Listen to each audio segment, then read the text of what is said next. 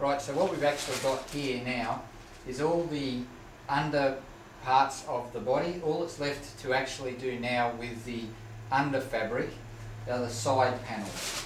The reason that we've done the under panels like this is so that we can just with the side panels fold it across the actual existing the existing fabric.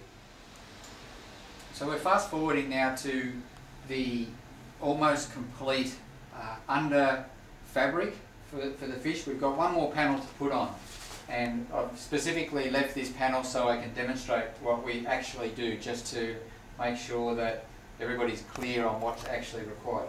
So this is the actual um, panel that we're going to install there. You always cut the panel oversize, stick it on and then trim around the around the edges later. So we've got our, our, our glue in our, our brush and we just go around the edge like that.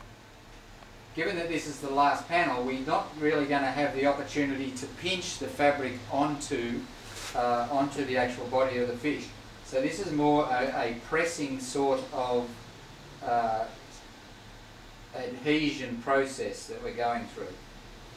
So we go around the, around the edge and we're actually being pretty liberal with the glue. Now we've got the actual hole coated we're just going to grab our fabric and we're going to lay it over the hole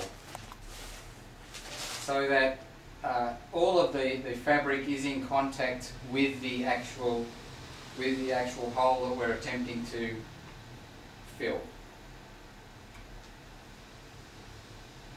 So that's the actual process that we go through.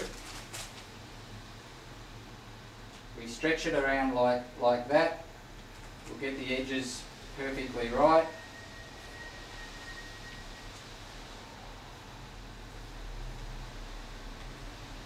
Now, as that's holding there, I can take the scissors and trim into where I'm going to be doing any folds. And the reason that I'm doing that is so that I'm actually taking the weight off the actual glue. So here you can see we don't need all this, this fold up here. So I'm just going to carefully trim around the edges, but pretty roughly in the initial stages because I can always come back and neaten it up later, but I've taken that extra weight off the actual panel as I work down through there. So that's the first few edges. Making sure that we keep the, the, the fabric fairly taut as we uh, as we make our way around. Down here where the fin actually attaches, we need to make a, an incision so that we can actually fold the fabric back in underneath the actual body of the fish. And that allows us to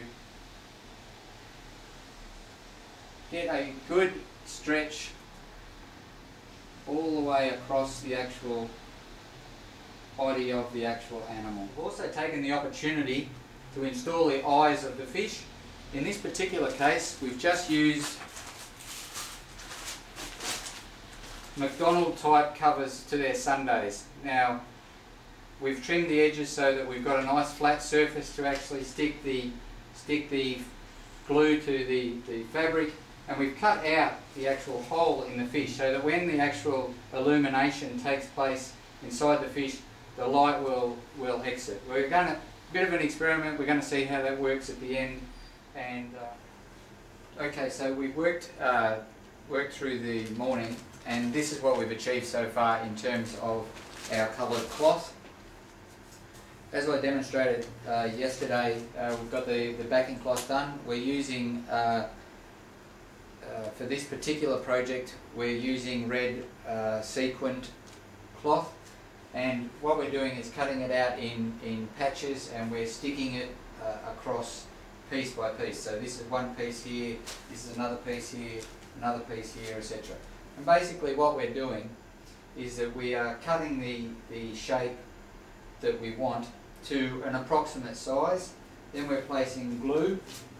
We're using a um, we're using a, a craft glue, a, uh, a fabric on fabric glue. I'm not sure if you can see that there, but it's basically a, a fabric glue and uh, it's a very similar process to what we did yesterday, still using a, uh, a paintbrush. We paint along the edge where we want it to actually uh, be, we stick the fabric down. After the fabric's in place, that's when we actually trim it. What we've also done to make things a bit easier is we've actually, for the time being, put a, a light inside, which we'll just turn on now.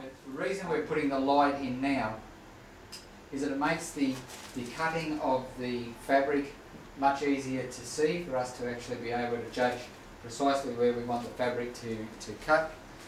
So what I'm going to do is I'm just going to do uh, this, uh, this little fin down here. We're going to reposition the camera in just a second.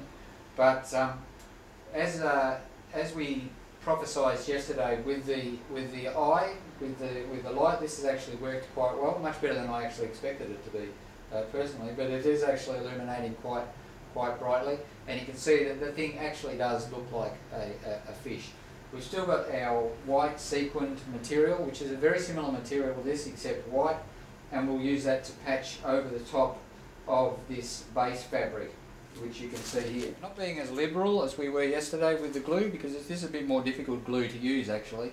It's got a five minute drying time which does cause a, a little bit of hassle in that it, it, uh, it generates clumps which is a slight pain in the ass just quietly but anyway that's fine. So we just go around the peripherals of the actual fin to, uh, to make sure that we've got it secure. So with our fabric all we're doing is laying it across the top there and pressing in a similar vein to what we did yesterday as far as, as making the uh, making here and we trim the edge.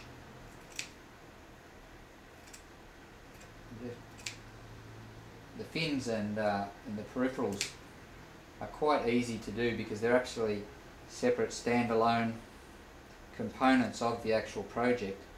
So cutting around them is quite easy. So as you can see there, it's relatively simple. In five minutes, that'll be touch dry. Tomorrow, that won't move at all. Okay, so we've just essentially finished the finished the fish to the degree that uh, we're going to. So what we've done We've got all the red panels on, we've inserted all the, all the white material, and we have outlined the edging in, in gold. We were going to do gold everywhere, but as it turns out, due to a uh, measurement error with our supplier, we don't have enough gold. So we've decided that this is actually going to, to do. Uh, what we've also uh, elected to do is install um, eyes into the, into the fish we weren't sure as to whether or not they made them look too cartoony or not, but we've decided we've installed the eyes and we're actually quite quite happy with the way it looks. And if you look here, the fish actually looks like it's actually looking forward. Not that you'll see the fish from the front once it's displayed in the front of the house, but it's essentially that's our that's our, our fish. It's complete. I'm just going to uh, get the lights turned off, and I'll just show you what it looks like at night. I'll just stand out of the way. So you see how that, that'll actually be how it's illuminated uh, at night. So that's our, that's our, our light, uh, or our Chinese lantern, uh, almost complete. The final clip, which I'll, I'll show you guys, will actually be of it up in front of the house, but the making thereof is actually is actually complete.